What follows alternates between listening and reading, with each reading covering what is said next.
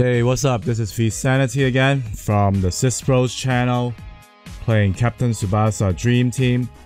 And in this video, I want to respond to a question that was asked on Facebook by someone, uh, which I find, uh, which is which is a very good question actually. And his question was, um, how do we know what players are available in these SSR ticket transfers? Now, here's the answer actually. It, the, the players that are available in this SSR ticket transfer are the players that are shown right here. And I'll show you right now. Do you see this uh, beginner's pack right here? Now when you click on this one, this um, excellent value SSR player match ready pack.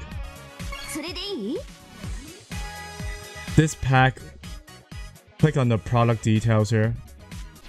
This is now this is what is available for the SSR ticket. Right here it shows which players are available. So there are 91 players, 100%. So the this is a list of what the players are are which players are available for the SSR ticket. Even for the free one. Okay? This is the list. And the percentage. Now, as you scroll down, you even see the some of the Dream Collection players that were available before, yeah. Now, the newest players that are available in the SSR ticket is right here. So it's up to Galvin, Herman, Herman Kaus, and Stefan Levin. Yeah, so not too uh, new actually. Quite old, as a matter of fact. So be careful when when to do these SSR tickets, okay? These free tickets. Now, in Japanese version, it's a little bit different. Let me show you right now.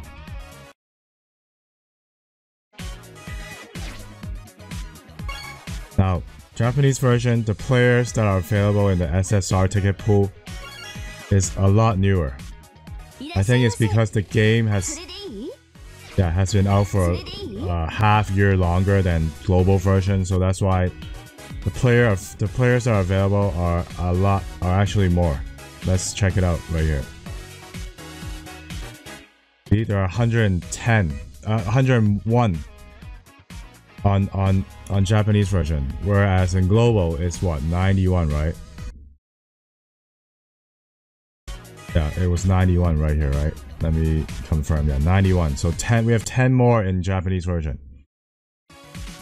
So let's scroll all the way down and see which players are available. And of course the percentage is different because there are more players. Now, now in Japanese version, we even have the recent uh, um, RJ7 debut transfer or whatever you call that, pickup transfer. We have that Hino Ryoma, Urabe, and this guy here, uh, I forgot his name. Yeah, and then we also have but some of these uh, the Mexican players from the Dream Collection. So there are more players in this pool, in the Japanese pool, than the global pool. Well, this is just some information that some people might not know. So just wanted to make a video about it. And I have a lot of SSR tickets. Which I haven't done yet in the Japanese version. But I'm waiting for the yeah, I'm, I'm, I'm waiting for more players to be available to do it. I want to get that um, Pierre, that red Pierre, the toughness type Pierre, from that non-European, a uh, non-Japanese player transfer. So in, so I will wait until those players are available, and then like the Japan only transfer is available, then I'll do it. So right now I'm saving these SSR tickets. So those of you that watch watching this video, use your SSR ticket uh, carefully, okay? If if those players that are available in the pool are not what you're looking for, so maybe save it for later until when more players are available in the SSR player pool, then do the SSR ticket transfer, okay? So this is just my little tip. Hope it helps you. And please subscribe the channel if you haven't done so. Hit the notification bell and share the videos and support this channel by checking out those uh, affiliate links in the description below. And also, if you're very generous, feel free to send a donation. That would be awesome. It will be uh, help me motivate get, motivate me to continue to do these videos and live streams.